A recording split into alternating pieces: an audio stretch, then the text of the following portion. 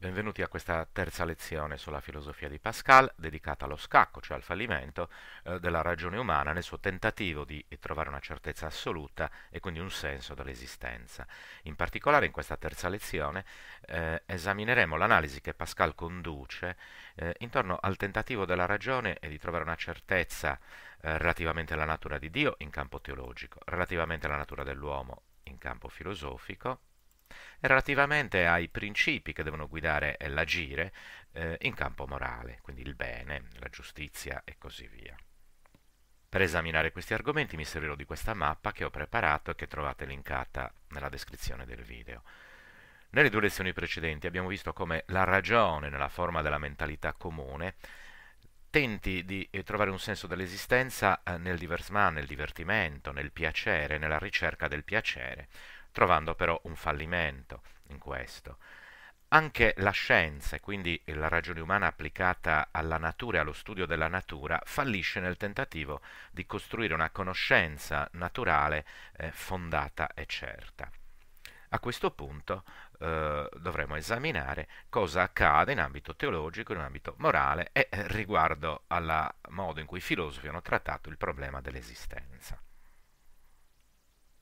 Prima di procedere, eh, ricordiamo brevemente eh, due punti essenziali, ingrandisco la mappa, e cioè Cartesio aveva in mente, chiedo scusa, Pascal aveva in mente un'apologia del cristianesimo, quindi un progetto eh, sistematico, piuttosto impegnativo, ehm, che originariamente mirava a creare, a scrivere un'opera in difesa del cristianesimo, indirizzata a quelli che sono i nemici del cristianesimo, cristianesimo prevalentemente, e quindi gli atei e i libertini, il pensiero ateo e libertino in quel periodo ehm, circolava eh, in modo eh, piuttosto ampio. Eh, per mostrare la superiorità del cristianesimo rispetto a quella ragione umana invocata ed evocata dagli atei e dagli, ehm, dai libertini. Tuttavia, la morte di Pascal, morto giovanissimo nel 1662, a soli 39 anni, impedisce a Pascal di portare a termine questo progetto. L'opera rimane incompiuta e i pensieri eh, trovati scritti da Cartesio dai suoi confratelli presso l'abbazia di Port Royal vengono pubblicati col titolo di Pensieri, appunto i famosi pensieri di Pascal. Vi sono varie edizioni. La struttura dell'opera che era stata prevista da Pascal doveva mh, essere costituita da varie parti, fondamentalmente due parti, una parte pars destruens, che mirava a mostrare la miseria della ragione umana e la condizione eh, di miseria, quindi negativa, eh, in cui si viene a trovare l'uomo senza Dio. Mentre la parte construens, construens la parte quindi propositiva, eh, mirava a illustrare la soluzione in Dio di tutti i problemi dell'esistenza umana e quindi la condizione di felicità cui l'uomo poteva accedere attraverso la fede in Dio. È importante anche considerare che Pascal, matematico e fisico, non abbandona per niente il suo eh, tipico modo di procedere scientifico, ma anzi possiamo dire che utilizza come metodo il metodo scientifico applicato a queste questioni di tipo esistenziale, di tipo filosofico e teologico, metodo scientifico che possiamo scandire in alcuni momenti, un esame del fenomeno e quindi un esame della condizione dell'uomo eh, che eh, miri a osservare, esplicitare e descrivere la sua contraddittorietà, quindi raccogliere le osservazioni. Un'ipotesi eh, eh, esplicativa di questa situazione contraddittoria dell'uomo, cioè solo il cristianesimo sarebbe in grado di spiegare la natura contraddittoria, insieme negativa e positiva, di grandezza e di miseria propria dell'uomo, e quindi verificare l'ipotesi attraverso un esame di varie situazioni e condizioni umane e dei vari ambiti eh, della speculazione umana, la teologia, la scienza, la filosofia e così via.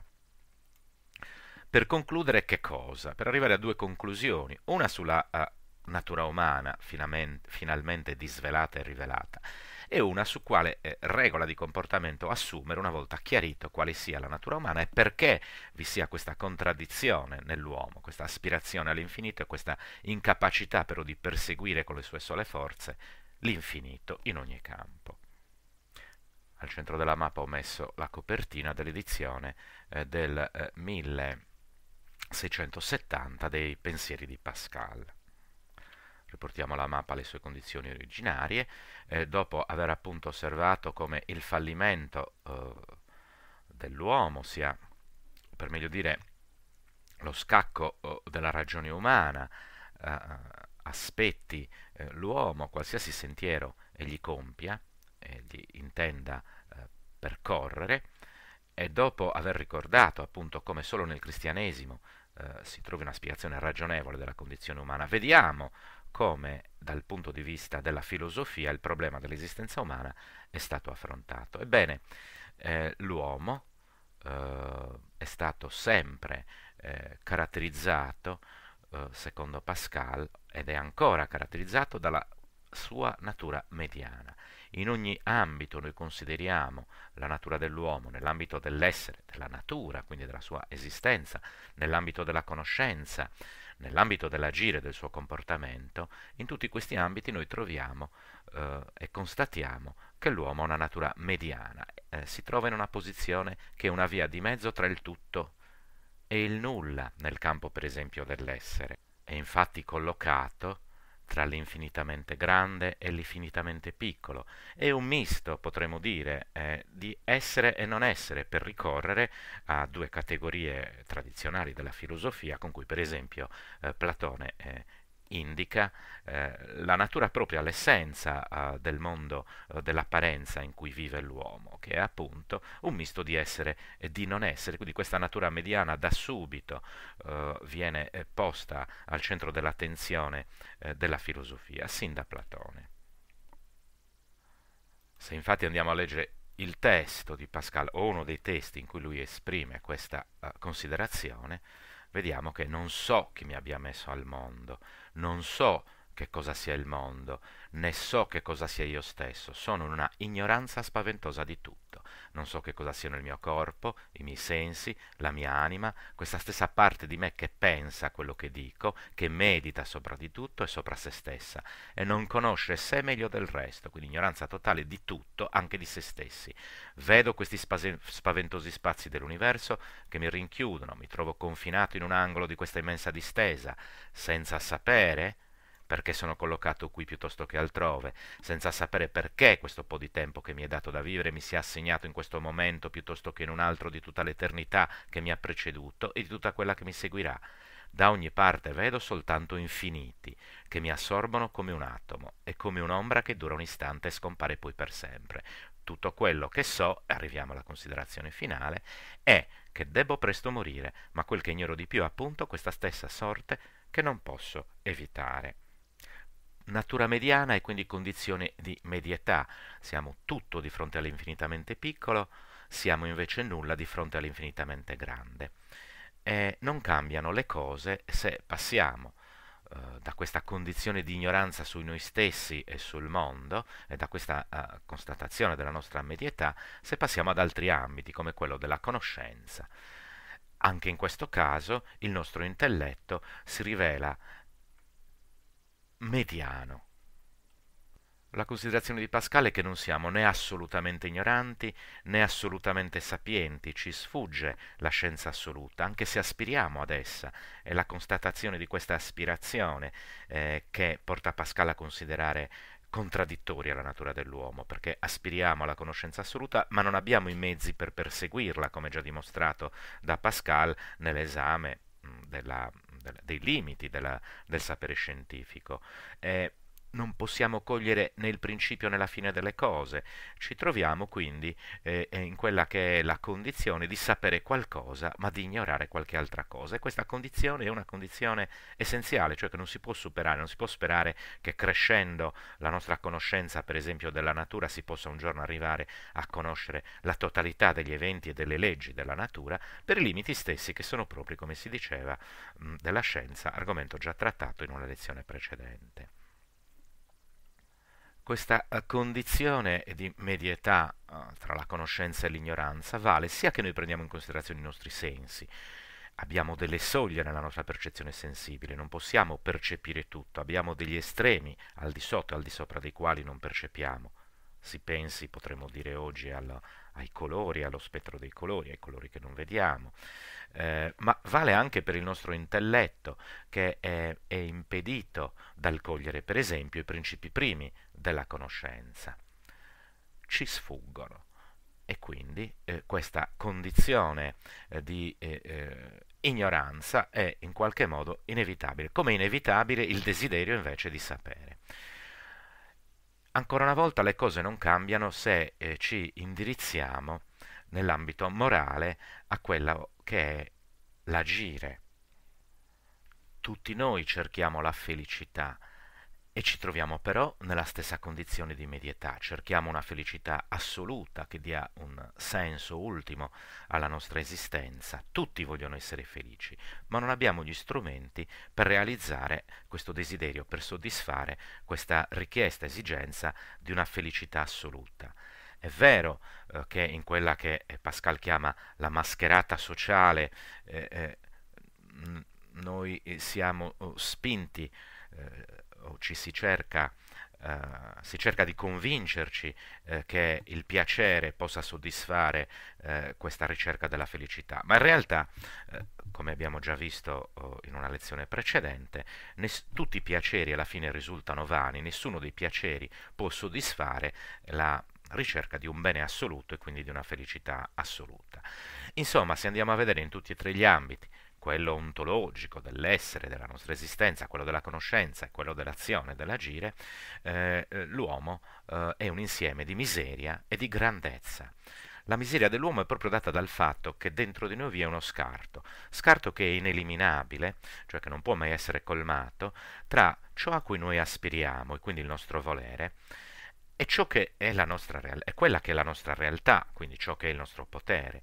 Il nostro volere è tale eh, da uh, desiderare in ogni campo qualcosa di infinito, la verità assoluta, quindi l'infinita conoscenza, il bene e la felicità assolute, quindi l'infinito piacere, il godimento infinito di un bene assoluto, ehm, e così via.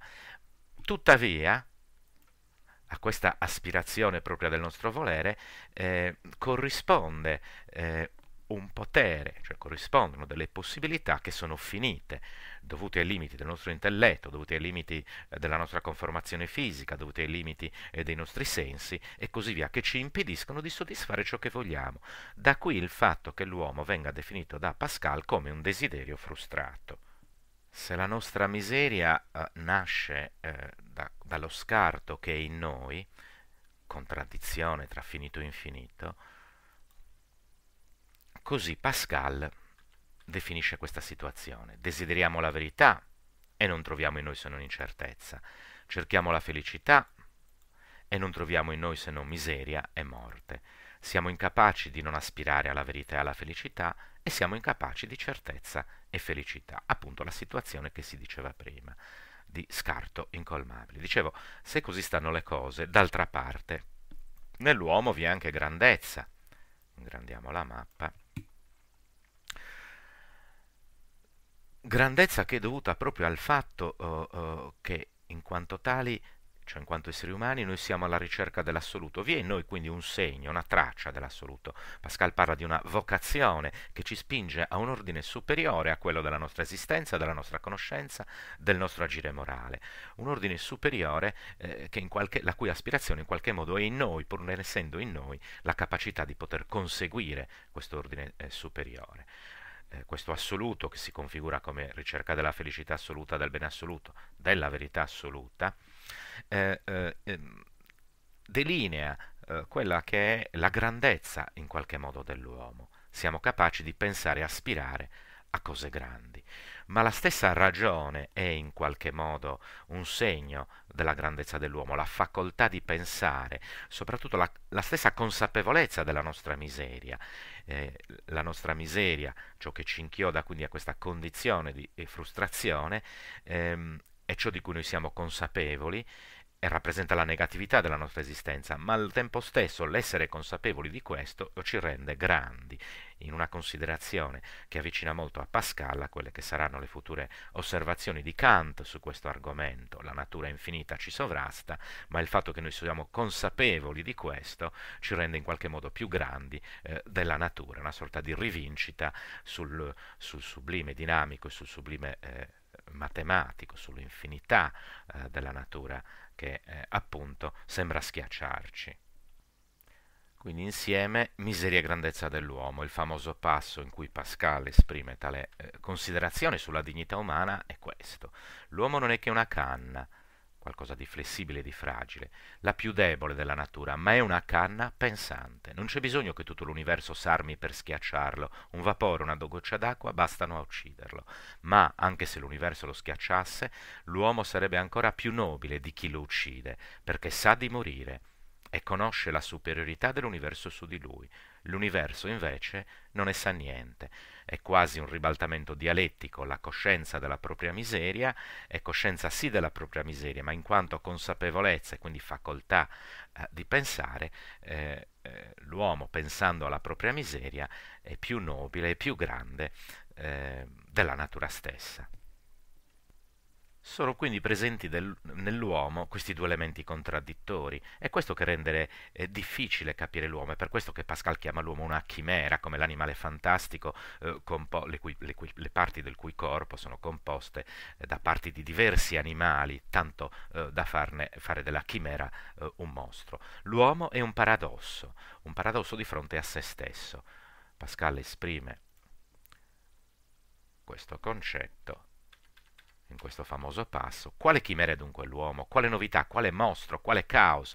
Quale soggetto di contraddizione? Quale prodigio? È giudice di tutte le cose, ma è debole come un verme della terra. È depositario della verità, ma è la cloaca, la fogna dell'incertezza e dell'errore. È insieme gloria e insieme rifiuto dell'universo.